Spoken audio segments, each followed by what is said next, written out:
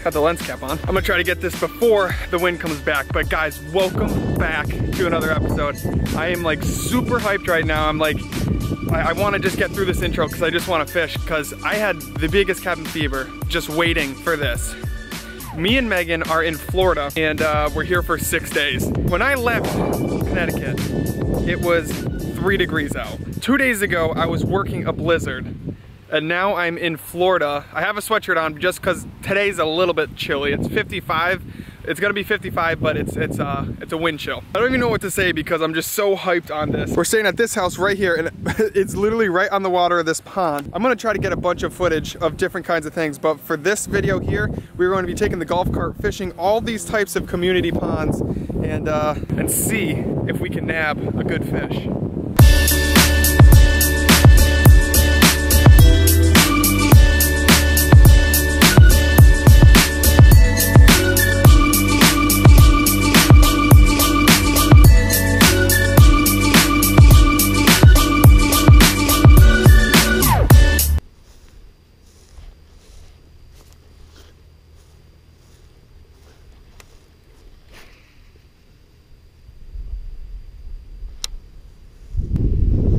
Yeah. Got one. Good one. Good one. Holy crap. Get the other camera. Oh no, it's in my bag. Come here. Oh my God. Holy crap. Holy crap. Holy crap. Holy crap. Stop jumping, big guy. Stop jumping, big guy.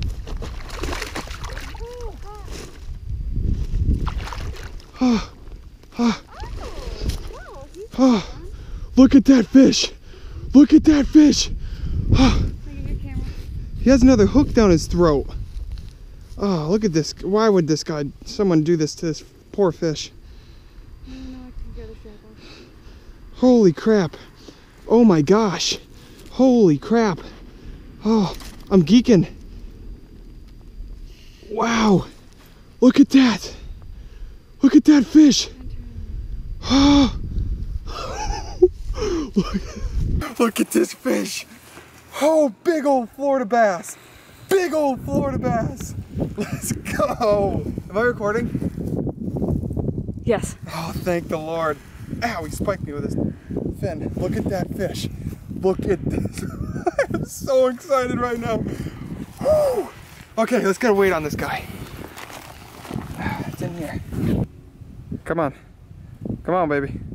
There we go. Four pounds, eight ounces. Well, seven ounces because I have the grip on him. Holy crap. I see your face. Wow. Let's What get a big release bass. on him, babe. What a big old bass. Oh, wow. Big Florida giant. What a fish. I hope he's uh he's all right from that other hook in him that he already had. But look at that fish, Megan. Look how big that fish is. All right. I hope to catch something bigger than you, but you're gonna be hard to break. First day on uh in Florida, and I catch a giant. What a awesome fish. Oh, boom, baby. Let's go. First day. Gosh, this is gonna be a good week. Whew. I don't even know what to say.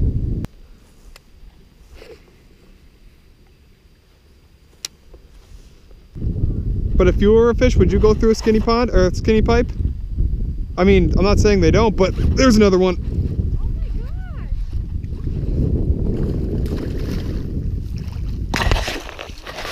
And I just turned on my camera too. There's another fish. Solid pounder. Let's go. This is fishing freaking heaven, guys. Absolute heaven.